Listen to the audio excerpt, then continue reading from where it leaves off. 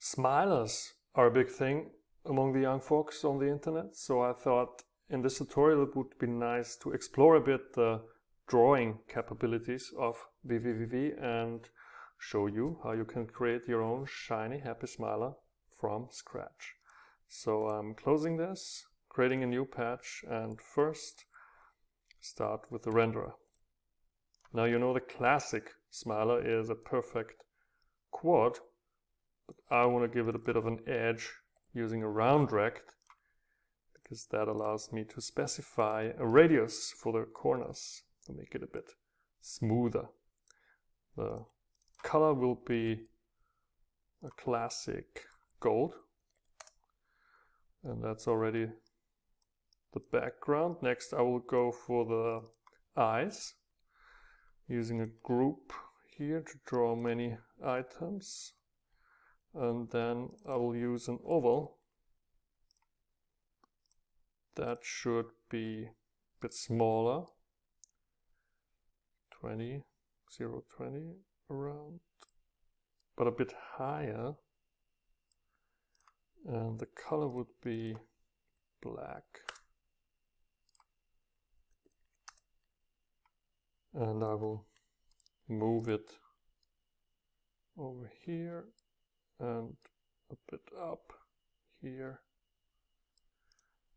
Then I will have two eyes obviously, so I'm going to attach another one.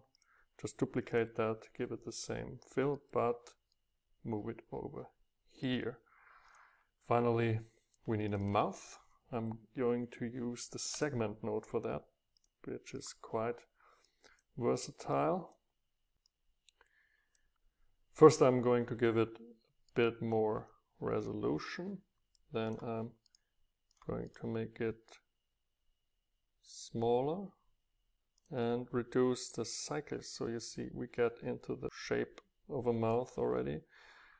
But then I also don't want to draw this filled, but with a stroke. Should also be black a bit fatter and I want to get rid of this connecting line so I say this segment will not be closed. Instead I want the caps round here.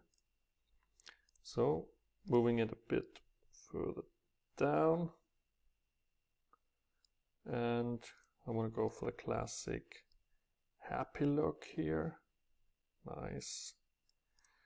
And that would be it for the face, I think now. We are only missing a few fancy things like a drop shadow. This is using an image filter. Drop shadow, which I will not see here yet because I first need to make a bit of a brighter background. Then I can increase the amount of the drop shadow a bit uh, set an offset a bit. And last thing I want to add a bit of a spotlight. So I'm using another round rect for that.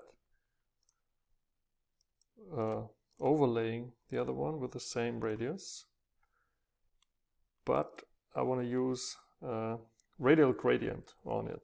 The radial gradient node returns a shader. So I'm using the set shader here. And this allows me to specify two colors.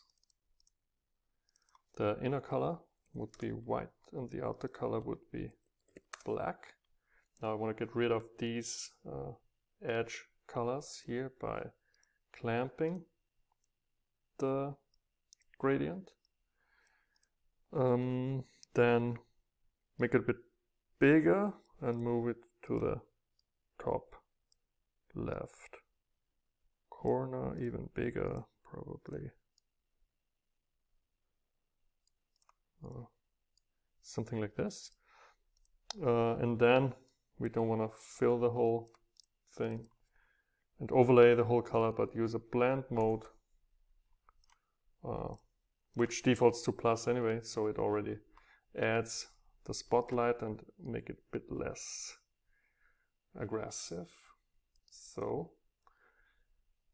that would be it. Uh, one more thing is that if you're combining elements like this, drawing primitives like this in a group, the nice thing here is that you can now transform them all together using a transforms here uh, node. You can see how I can apply transformation to the whole drawing at once. And make it a bit bigger even. So that would be it for this tutorial.